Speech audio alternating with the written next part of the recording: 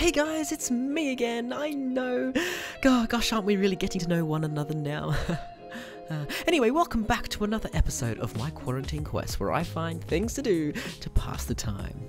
So, today for my quest, I decided to take things down a bit of a notch and attempt a challenge from one of my beautiful friends, Molly Martin. So, she has an array of knowledge of all things nature, and she posts beautiful photos with lots of interesting facts on her Instagram, which I have left a link to down below if you guys want to check it out. So, basically, her challenge to me was to create a song about birds in alphabetical order. Yes, Tom and Flap Flap, well done. so, without further ado, uh, let me show you. Oh, and also be kind, as this is the first time I've ever put together something like this. uh, but anyway, enjoy.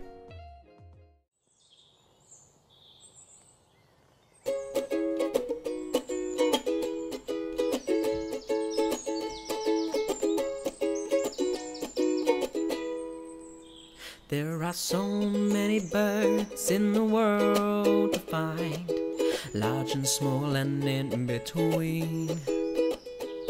Let's go ahead and name a few.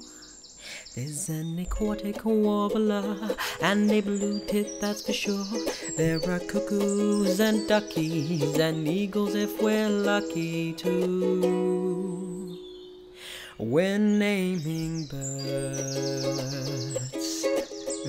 when naming birds.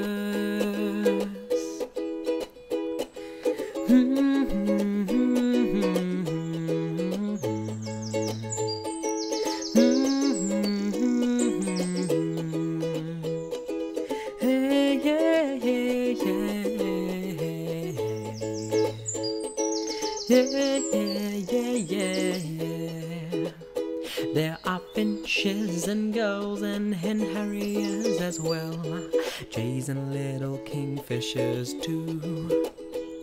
Why don't we go ahead and name some more? Why not? Because we're going to do it anyway. We have the lapwings and the magpies.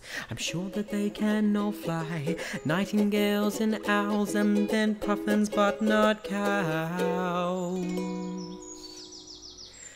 Forget the quails and the redwings, the stone curlews be nesting, tree creepers and umbrella birds. Oh, so many weird words. We're naming birds. We're naming birds.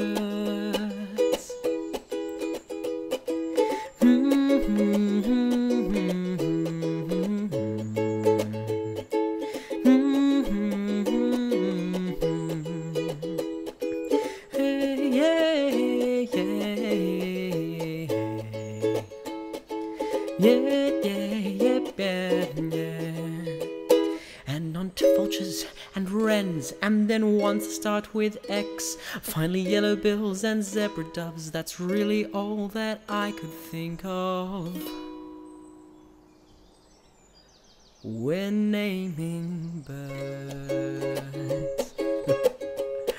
when naming birds. Whoa,